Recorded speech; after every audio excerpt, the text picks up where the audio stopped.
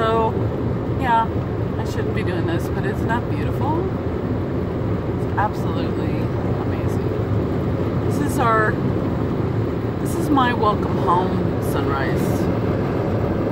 This is my new home. I've decided this is home.